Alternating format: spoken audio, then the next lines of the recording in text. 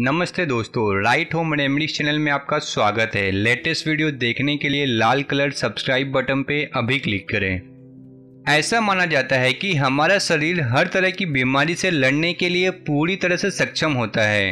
अगर हम भी चाहे तो किसी जंगल में रहने वाले जानवर की तरह ही बिना बीमार हुए लंबी उम्र तक जी सकते हैं।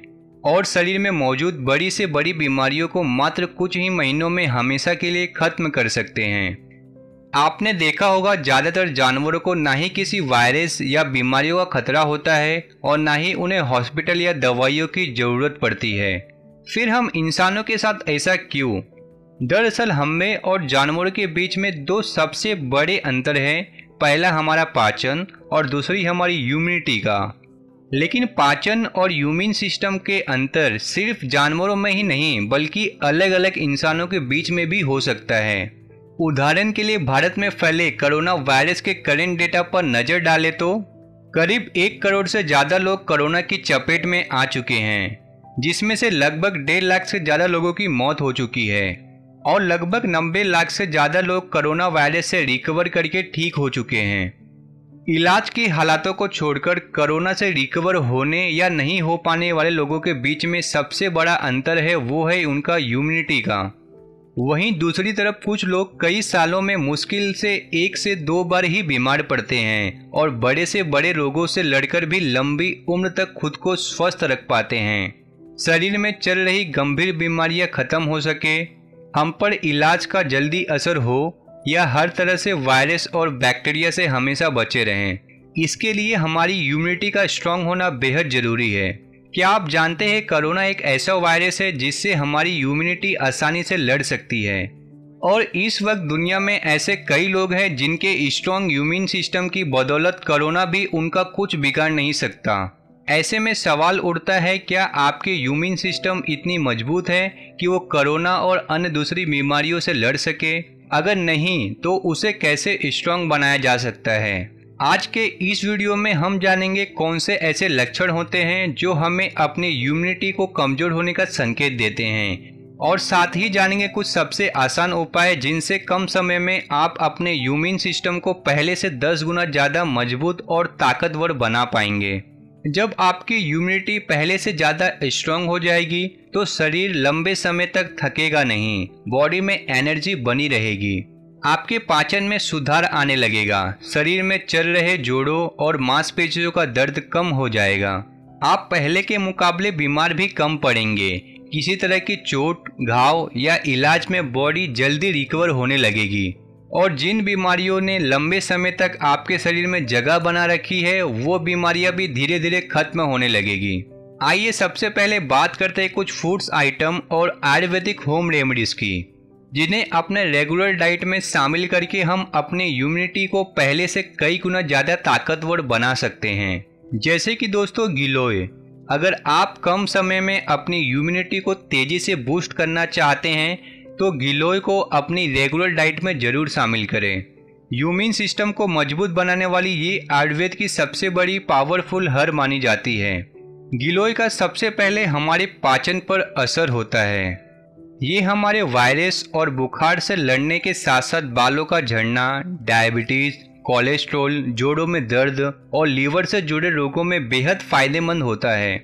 गिलोय का इस्तेमाल आप तीन अलग अलग तरीकों से कर सकते हैं। टैबलेट जूस या पाउडर रोज़ाना खाना खाने के बाद गिलोय की एक से दो टैबलेट ली जा सकती है। और जूस के लिए 15 से 20 गिलोय का जूस बराबर मात्रा में पानी के साथ आप रोज़ाना खाना खाने से पहले ले सकते हैं। इसके अलावा गिलोय के चूड़ यानी कि पाउडर, शहद या फिर गर्म पानी के साथ सेवन किया जा सकता है। इन सब के अलावा ताजे गिलोय, तने और पत्तों का जूस सबसे ज़्यादा फ़ायदेमंद होता है।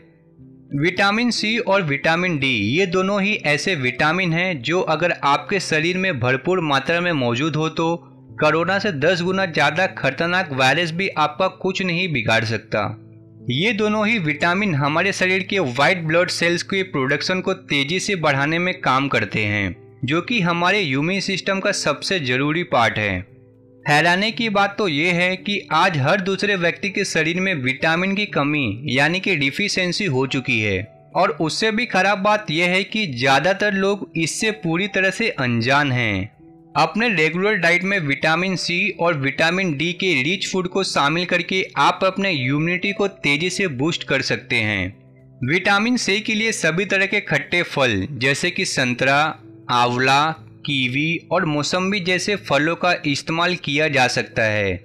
इसके अलावा हरी और लाल शिमला मिर्च में भी विटामिन सी की मात्रा बहुत अधिक होती है। और सब्जियों में पालक, ब्रोकली, मेथी और पत्ता गोभी जैसी सभी हरे रंग वाली सब्ज़ियाँ विटामिन सी से भरपूर होती है। विटामिन डी के लिए आप गाय का दूध, मशरूम, बादाम और संतरों को अपनी डाइट में शामिल कर सकते हैं। लेकिन विटामिन डी का सबसे बेहतर सोर्स है सूर्य का प्रकाश। जी हाँ दोस्तों, रोज़ाना सुबह के समय 20 से 30 मिनट धूप में बिताने से विटामिन डी की मात्रा तेज़ी से बढ़ने लगती है। जब भी शरीर में किसी प्रकार के वायरस, बैक्टीरिया, फंगस या फिर इन्फेक्शन से लड़ने की बात आती है तो लहसुन का नाम सबसे पहले आता है। कमज़ोर इम्यूनिटी के चलते कई लोग को थकान, आलस, सुस्ती और बॉडी में एनर्जी की कमी हर दिन महसूस होती रहती है। लहसुन यानी गार्लिक एक ऐसा सुपर फ़ूड है जिसमें लगभग 200 से भी ज़्यादा एक्टिव इंग्रेडिएंट्स फ़ूड पाए जाते हैं। ये हमारी इम्यूनिटी को स्ट्रांग बनाने के साथ साथ हमारी स्ट्रेंथ इंड्योरेंस को इम्प्रूव करता है। लेकिन इसका पूरा लाभ उठाने के लिए इसे इस्तेमाल करने का सही तरीका पता होना बेहद ज़रूरी है।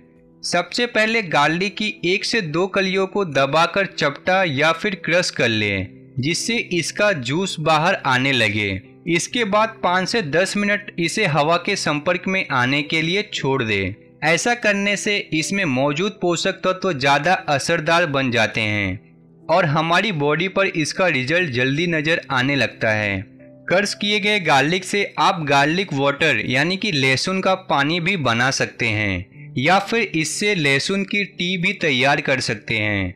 गार्लिक वाटर बनाने के लिए कर्ज की गई लहसुन को हल्के गुनगुने पानी में मिलाकर पाँच मिनट के लिए छोड़ दें। उसके बाद ये पीने के लिए तैयार हो जाता है। इस पानी को सुबह नाश्ते के आधे घंटे बाद सेवन किया जा सकता है।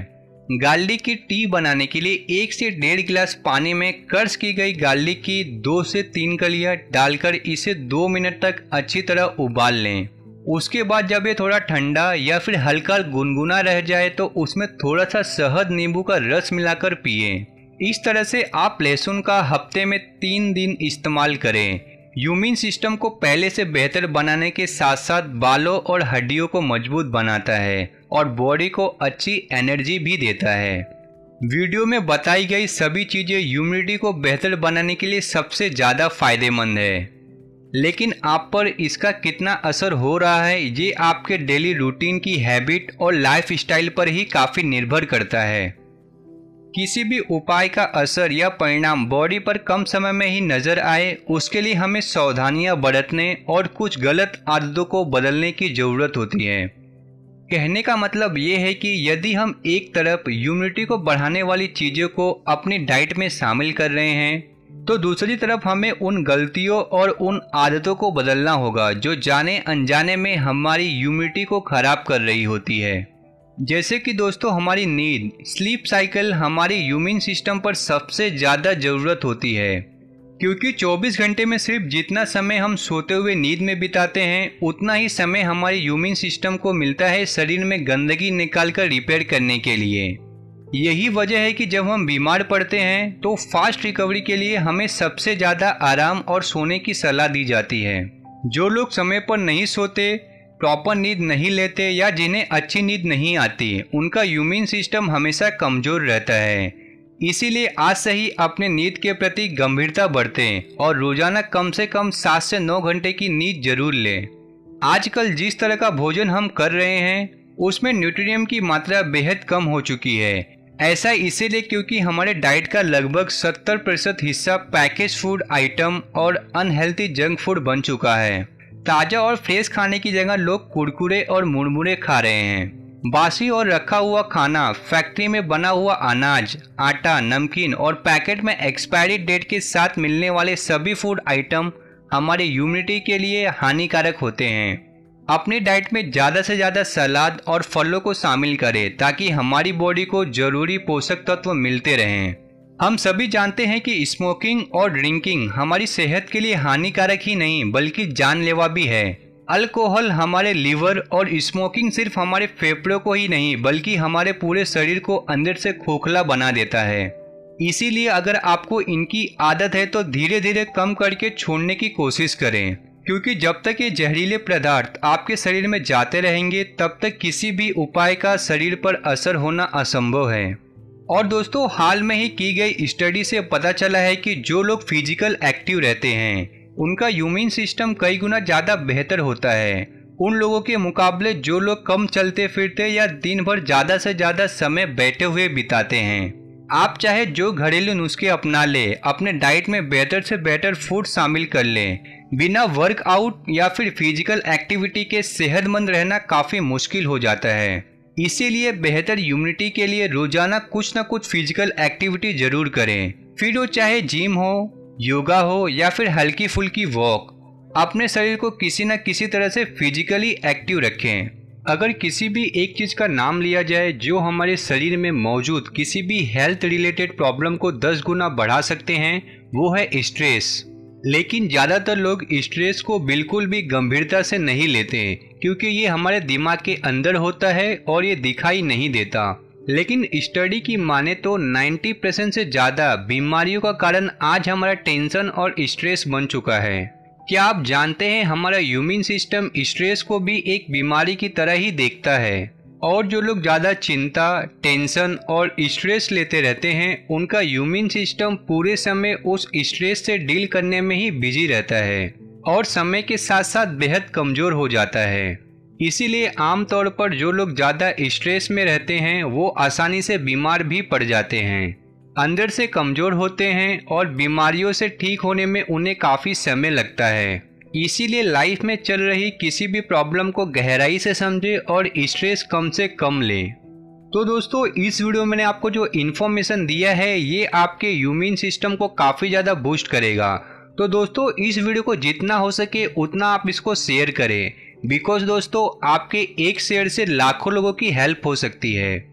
शेयर करना बिल्कुल ही इजी और फ्री भी है। नीचे आपको शेयर का ऑप्शन मिलेगा, उस पर क्लिक करें और आपके फेसबुक पे हो गया व्हाट्सएप पे हो गया, जहाँ शेयर करना है, दबा के शेयर करें। तो थैंक यू सो मच दोस्तों, वीडियो को लास्ट तक देखने के लिए मिलते हैं नेक्स्ट वीडियो में।